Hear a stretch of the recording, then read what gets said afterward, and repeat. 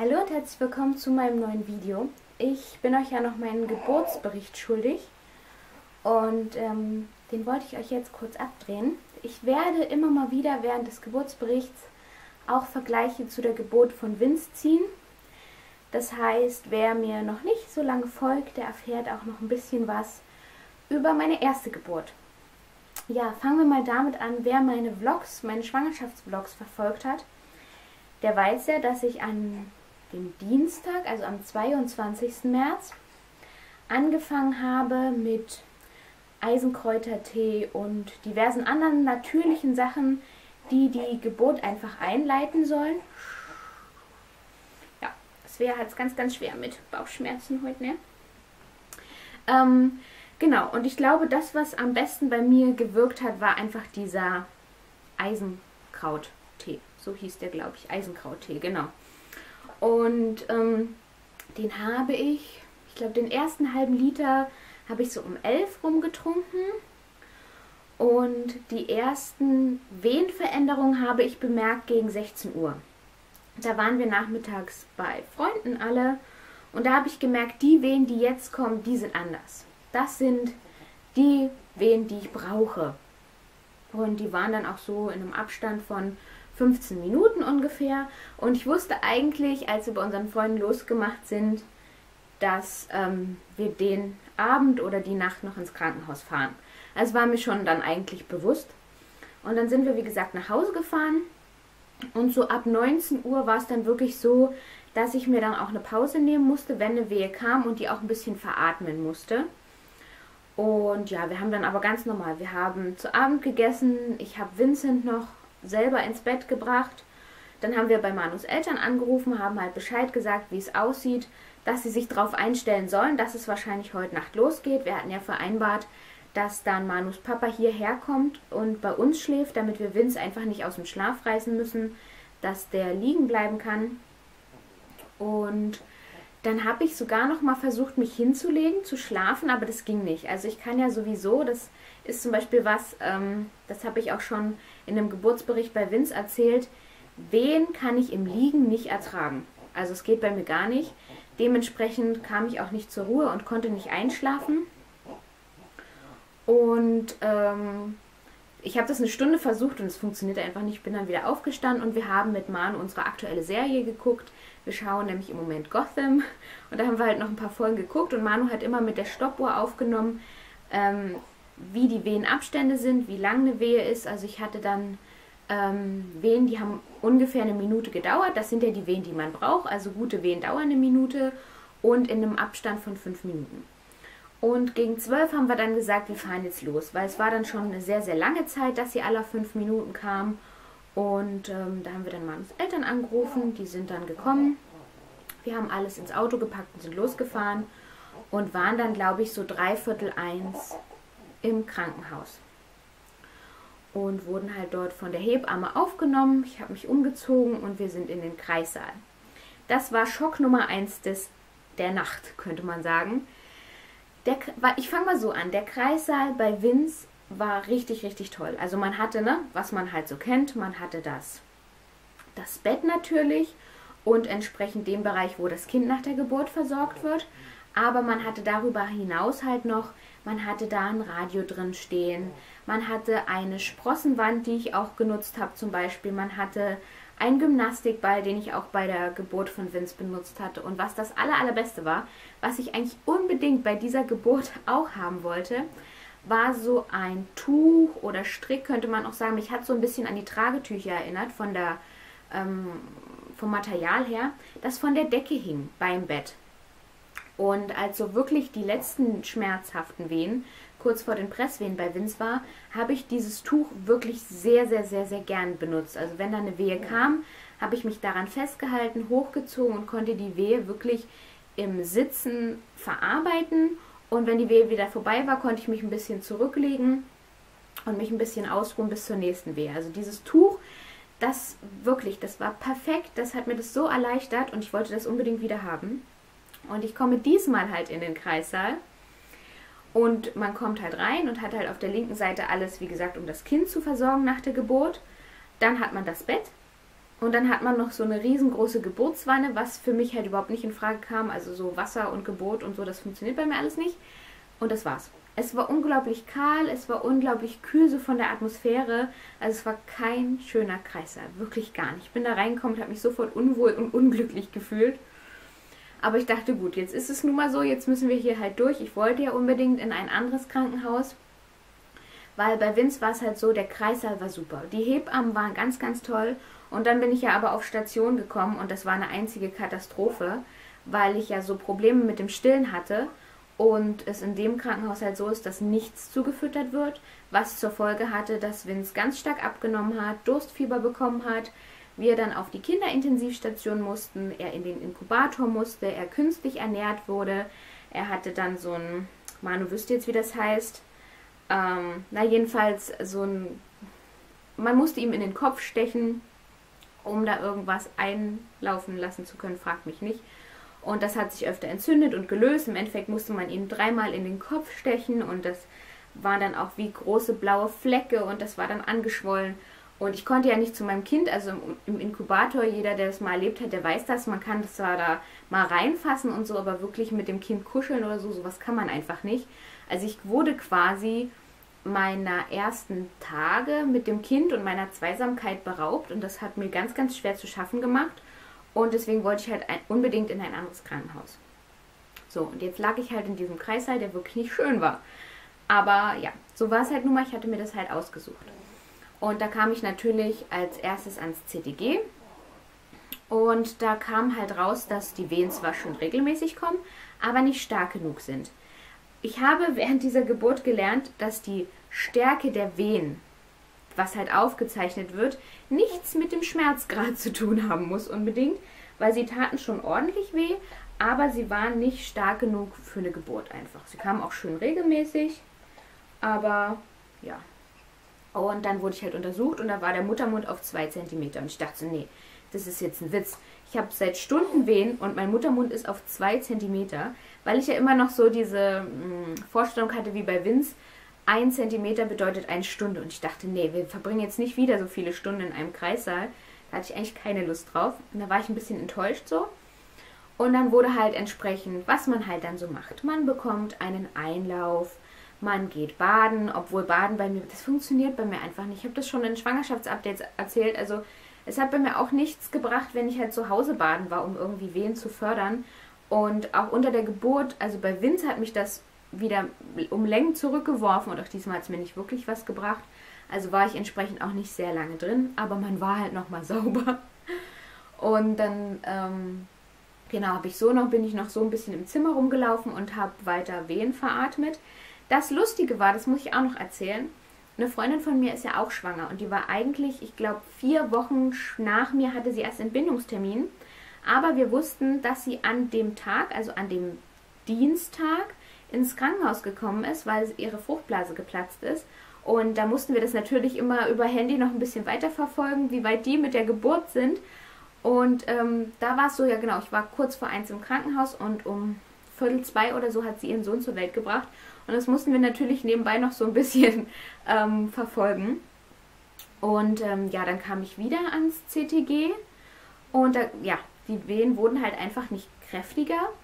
Ähm, worauf, und der Muttermund war dann auf 3 cm und da wurde ich dann einen Wehentropf angelegt. Das kannte ich ja auch schon von Vincent. Da hatte ich ja dann einfach so einen Punkt, wo es nicht weiterging bei Vince und da kam ich auch an den Wehentropf. Und da musste ich halt auch diesmal wieder ran. Und ähm, dann ging das ganz, ganz schnell. Also an den Wehentropf angeschlossen wurde ich um drei. Dann wurden die Wehen sehr, sehr schnell, sehr, sehr, sehr, sehr stark und sehr, sehr schmerzhaft. Ich habe zu Manu gesagt, so schmerzhaft war das bei Vincent nicht. Und er hat mir aber erklärt, doch, das war genauso. Aber bei Vince hatte ich halt, wie gesagt, diesen, dieses Tuch, was von der Decke ging, was mir so unglaublich gut geholfen hatte. Und diesmal hatte ich auch so Rückenschmerzen. Ich wusste nicht, wie ich sitzen oder liegen sollte ähm, ich hätte halt gerne irgendwo, ich wäre halt gerne irgendwo anders hingegangen, außer auf dieses Bett, aber ich hatte ja keine Möglichkeiten dort in dem Kreissaal. Also hab ich, haben wir das versucht, so bequem wie möglich irgendwie für mich einzustellen und ich habe dann halt da versucht, meine Venen zu veratmen. Ähm, das Problem war, dass ich ähm, die Kanüle in der linken Hand liegen hatte. Das heißt, ich konnte mit der Hand überhaupt nicht zugreifen, weil ich es gerne mache, wenn ich eine Wehe habe, dass ich mich festhalte mit beiden Händen. Mit einer Hand bei Manu und mit der anderen Hand irgendwo anders. Und wenn es am Bettgestell ist, das konnte ich halt mit der Hand überhaupt nicht, weil es mit der Kanüle wehtat. War schon mal blöd. Manu saß also auf meiner rechten Seite und hat meine rechte Hand gehalten, beziehungsweise ich habe ihm seine Hand zerquetscht. Und so habe ich halt meine Wehen veratmet eine ganze Zeit. Und dann merkte ich, um Gottes Willen, Presswehen. Meine Fruchtblase war aber noch nicht geplatzt und ich hatte Presswehen. Und ich sagte zu Manu, oh, ich muss pressen, aber es geht halt nicht. Ich konnte ja nicht, Fruchtblase nicht geplatzt. Also geatmet, geatmet, geatmet. Und dann merkte ich, oh Gott sei Dank, Fruchtblase platzte, kam immer mal so. Also bei Vincent war es wirklich so, da bin ich vom Gymnastikball aufgestanden und die Fruchtblase platzte und es war so plärr. Und diesmal war es halt so, dass es einfach so rauslief. Und da war ich aber froh, dass die Fruchtblase geplatzt war, weil ich dachte, Gott, jetzt kann ich endlich pressen. Unser Problem war, wir waren zwei Frauen halt, also in jedem Kreissaal eine und nur eine Hebamme. Und ähm, die Geburt bei der anderen Frau war in vollem Gange. Das heißt, die Hebamme konnte nicht zu uns kommen. Was wiederum hieß, ich konnte nicht pressen, weil Manu hat gesagt, nee, mach das nicht. Ich, er ist zwar Krankenpfleger, aber soweit dann auch nicht ausgebildet, dass er sagt, er könnte jetzt hier ohne weiteres ein Kind zur Welt bringen. Und äh, also habe ich weiterhin die Presswehen veratmet. Ich war dann froh, als ich drüben das Kind schreien hörte, weil ich dachte, jetzt, jetzt geht's los. Jetzt ist dort die Geburt vorbei, jetzt können wir loslegen. Da haben wir dann auch drüben Bescheid gesagt, dass meine Fruchtblase geplatzt ist und da kamen dann die Ärzte und auch die Hebamme rüber, schauten sich das Ganze an und sagten so, ja, wir können hier loslegen, aber wir müssen noch mal rüber die Nachgeburt holen. Ich dachte so, nee. Ich wollte so unbedingt pressen und ich durfte nicht, es war so schlimm. Und ähm, also auch mal so zum Zeitvergleich, das Kind von, äh, aus dem anderen Kreißsaal wurde um 4.50 Uhr geboren und Svea ja um 5.04 Uhr. Und zwischendurch wurde drüben halt noch die Nachgeburt geholt. Ne? Da wisst ihr ungefähr, was das für ein Zeitabstand war. Und als sie dann endlich kam, war ich so froh, dass ich loslegen konnte. Und bei Vince, ich habe Vince ja in der Hocke zur Welt gebracht. Also ich habe gehockt und das war für mich perfekt. Ich glaube, ich habe bei Vince dreimal gepresst und er war da. Es waren keine großen Schmerzen, ähm, das flutschte, das war wirklich 1A und ich wollte das wieder so machen. Und wir haben das halt so gesagt, wie ich das gerne wieder möchte. Nee, geht nicht. Die Ärztin schon so, nee, das ist mit so großen Risiken verbunden und Geburtsverletzungen. Ja, ich bin bei Vince auch gerissen und es musste genäht werden, aber das war es mir allemal wert. Und ähm, Problem Nummer zwei war, die Hebamme war eigentlich schon Rentnerin und hat nur ab und zu Nachtschichten übernommen. Im Nachhinein habe ich aber übrigens erfahren, dass ich eine der besten Hebammen in diesem Krankenhaus hatte, was ich auch bestätigen kann. Die war wirklich super, auch wenn ich sie nicht oft gesehen habe. Ähm, und äh, ja, das Problem war halt, sie war halt schon relativ alt und sie sagte auch, sie traut sich es nicht mehr zu, sich halt da unten auf den Boden zu hocken und das Kind aufzufangen. Und da haben wir dann gesagt, ja gut, dafür, da ist uns dann das Risiko auch zu groß, dass ähm, Svea halt wirklich auf den Boden fällt, dass sie halt, sie halt nicht ähm, richtig auffangen kann. Und da musste ich mich halt von diesem Traum auch wirklich, weil ich hatte mich darauf gefreut, das war bei Vince wirklich unproblematisch und ich war darauf geeicht, dass ich auch Svea wieder so zur Welt bringen würde. Und davon musste ich mich halt da verabschieden und das war schon nicht so schön. So, und dann ging es weiter. Ich sollte mich hinlegen. Ich habe während dieser ganzen Geburt nicht gelegen, weil ich habe ja schon gesagt, ich kann Wehen im Liegen nicht verarbeiten. Gar nicht. Ich sollte mich hinlegen, um Gottes Willen. Also da hingelegt. Und ähm, ja, dann sollte ich pressen. Und ich hatte keine Ahnung, wie ich im Liegen pressen sollte, wo ich da den Druck und die Kraft herholen sollte. In dieser Hocke war das so einfach, weil es einfach ja von der Schwerkraft her total logisch war. Und im Liegen, ich wusste, ich habe mich total dämlich angestellt. Ich wusste nicht, wie ich da pressen sollte und wie ich da, wie ich da Druck ausüben sollte. Also es hat überhaupt gar nicht funktioniert. Und ja, die erste Presswehe, ich habe halt gepresst, so gut es ging. Aber ich merkte auch, ich war nicht so kräftig wie bei Vins Geburt mit dem Pressen. Ja, es ging auch, funktionierte auch irgendwie nicht so richtig. Und dann sollte ich pressen ohne Presswehen. Also es wurde mir erklärt, es wäre wohl besser, wenn ich ohne Wehe pressen würde. Also habe ich versucht, ohne diesen Pressdrang zu pressen. Und es, das, es war total dämlich, wirklich. Es war total unangenehm. Es tat richtig weh. Ich habe auch geschrien. Bei Vince habe ich wirklich nie geschrien. Nicht wegen, während einer Wehe, nicht während der, während der eigentlichen Geburt. Ähm, gar nicht. Und diesmal habe ich wirklich gebrüllt, weil ich einfach nicht wusste, ich war auch, ich war auch enttäuscht und ich war sauer, also es war auch meine Enttäuschung, die ich da rausgeschrien habe, weil ich, ich wusste für mich persönlich, wie es für mich am einfachsten und unproblematischsten, unproblematischsten gegangen wäre und ich konnte das so nicht machen und ich war einfach so frustriert und das habe ich da auch mit rausgeschrien, zusätzlich zu meinen Schmerzen, weil es einfach nicht richtig funktioniert hat. Naja, und jedenfalls musste ich mich da halt ein bisschen rumquälen und irgendwann habe ich sie dann halt rausgepresst bekommen. Muss ja so sein. Ähm, es musste mir nicht geholfen werden, irgendwie mit Sauglocke oder sowas. Und wenn man halt die Zeit betrachtet, ich glaube, ich habe vielleicht so sieben, acht Minuten gebraucht und dann war sie auch da. Das geht schon. Aber für mich kam, mir kam das ewig vor. Und ähm, genau, dann war sie halt da. Dann haben wir natürlich erstmal gefragt, was es denn ist, weil wir ja nicht wussten, ob es ein Mädchen oder ein Junge wird. Und haben uns natürlich sehr, sehr, sehr gefreut, dass es ein Mädchen war. Ich hätte mich auch mega über den Jungen gefreut. Dann hätten wir halt hier, ähm, wäre ich allein unter Männern gewesen. Aber so natürlich mit einem Mädchen. Jetzt haben wir halt ein Pärchen, einen älteren Bruder, eine kleine Schwester. Ist einfach nur perfekt. Und haben uns natürlich sehr gefreut. Ich habe sie gleich auf die Brust bekommen. Und dann musste ja aber die Nachgeburt noch raus. Bei Vince war das auch völlig unproblematisch. Die kamen fast von alleine, relativ gleich auch. Aber Svea war draußen und ich bekam keine Wehen mehr. Wie sollte ich also diese Nachgeburt nach draußen bringen? Also hat sich wirklich die Ärztin mit ihrem kompletten Gewicht, mit ihrem Ellenbogen auf meinen Bauch gelegt und versucht, diese Nachgeburt daraus zu pressen. Es war wirklich sehr, sehr, sehr, sehr unangenehm und schmerzhaft. Und jedenfalls hatte ich dann irgendwann diese Nachgeburt draußen. Manu saß auch diesmal sehr ungünstig. Also bei Vince saß er ja quasi hinter mir in der Hocke und diesmal saß er halt so, dass er viel gesehen hat und er sagt, er hat zu viel gesehen. Und naja, dann war die Nachgeburt draußen und es war auch alles gut. Und ich habe dann auch gleich, habe sie dann auch gleich angelegt, soweit man das halt da im Krankenhaus, also im Kreißsaal macht. Und genau, und dann war es eigentlich. Also ich war auch, bin auch nicht so doll gerissen. Diesmal musste man es nicht nähen, man konnte das kleben.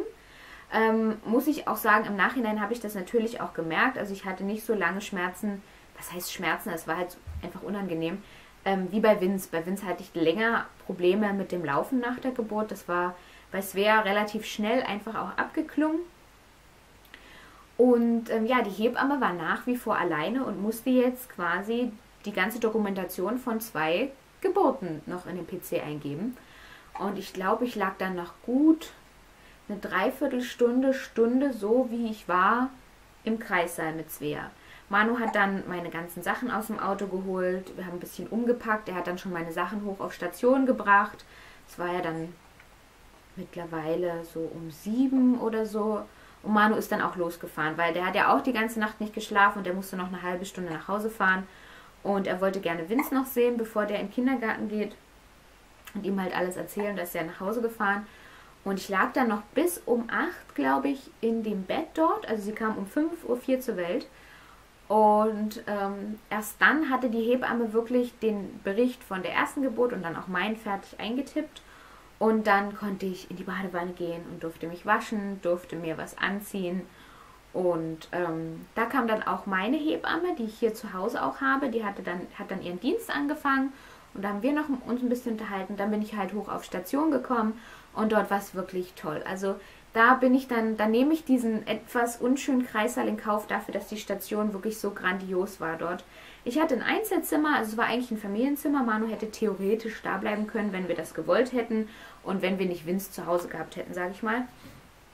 Und ich hatte, ja, dadurch musste ich mir halt das Zimmer nicht mit einer anderen Mama und noch einem anderen Baby teilen. Hatte das Badezimmer für mich und so, das ist schon immer ganz angenehm. Und das war dort so aufgeteilt, also man hat Schwestern, die halt den gynäkologischen Bereich betreuen mit denen hatte ich ganz, ganz wenig zu tun, weil ich ja keine Probleme hatte. Und dann hat man die Kinderkrankenschwestern und das Kinderzimmer quasi war auch nur zwei Türen weiter, glaube ich, von meinem Zimmer. Und ähm, ja, mit denen hatte ich halt am meisten zu tun, einfach was so das Stillen anging. Aber die kannten auch schon meine Geschichte, dass ich so extreme Probleme beim Stillen bei Vince hatte und da auch so ein bisschen ängstlich war, weil ich halt diese Erfahrung mit ihm im Krankenhaus gemacht hatte weil man ist einfach so, wenn man weiß, das Kind hungert, weil man selber keine Milch hat, da gibt man sich schon, auch wenn es blöd ist, selber ein bisschen die Schulter dran. Und ähm, ja, da waren sie halt wirklich ganz, ich sollte das so machen, wie ich mich wohl damit fühlte. Sie haben mir Tipps gegeben, wenn ich welche wollte. Und das war schon ganz schön und ähm, die waren alle ganz nett und wir haben uns immer auch schön unterhalten und es war wirklich eine angenehme Zeit da auf der Station. Moment.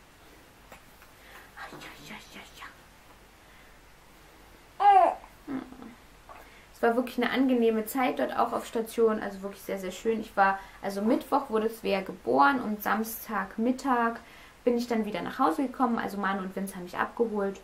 Und dann begann halt meine Wochenbettzeit zu Hause. Und ich überlege, ob ich über diese sechs bis acht Wochen, wenn sie dann vorbei sind, nochmal ein Video mache. Falls euch das eventuell interessiert, könnt ihr mir mal in den Kommentaren schreiben. Was machst denn du hier? Ja. Ja. Die blöden Bauchschmerzen, ne? Und das hatten wir bei Vince halt auch schon. Mit diesen drei Monatskoliken. Man ist ein bisschen entspannter, muss ich sagen, wenn man weiß, was es ist, wo es herkommt, was man tun kann. Aber trotzdem tut einem das Kind leid, wenn man weiß, sie hat halt Bauchschmerzen. Ähm, genau, alles in allem war halt die Station ganz, ganz toll. Ja, ich überlege, genau, ein Video über das Wochenbett eventuell zu machen. Schreibt mir in den Kommentaren, falls euch das interessiert. Und, also ich habe ja jetzt von der Geburt erzählt, aber vielleicht gibt es irgendwas, was euch noch besonders interessiert. Deswegen, wenn ihr da noch mehr Fragen zur Geburt habt, stellt mir die gerne unten in den Kommentaren. Und entweder beantworte ich die in den Kommentaren oder ich sammle das Ganze nochmal und mache dann nochmal ein QA zur, Gebo zur Geburt, zur Entbindung einfach nochmal. Ja, ich hoffe, das Video hat euch gefallen, auch wenn es jetzt so ein bisschen mit Begleitung war ähm, und etwas schunkelig, weil ich hier die ganze Zeit hin und her wippe.